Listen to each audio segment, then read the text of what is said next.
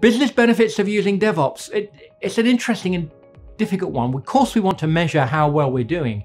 Um, what DevOps does, and DevOps is a cultural approach. So what DevOps does is actually build, bring, helps you bring the best of various ideas into do it. So what DevOps will deliver to an organization, usually um, what you're looking to see coming from DevOps approach is the right thing being delivered faster for less. So what we're doing is we're bringing in tools like Lean to cut out waste.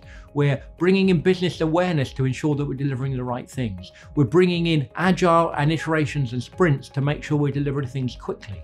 Now, if you deliver the right thing quickly, you're giving immediate benefit. You're empowering the business to do more. If you're in a commercial company, you're then empowering the business with new tools earlier. So they're able to do more of what they do. So the business performs higher. So if you get DevOps right and you bring in the cultural aspects correctly and you get the delivery right, you bring the automation in to do things quickly and reliably, what you're doing is empowering your business to do more business. And that's the benefit of DevOps. It's not an IT benefit, it's a business benefit.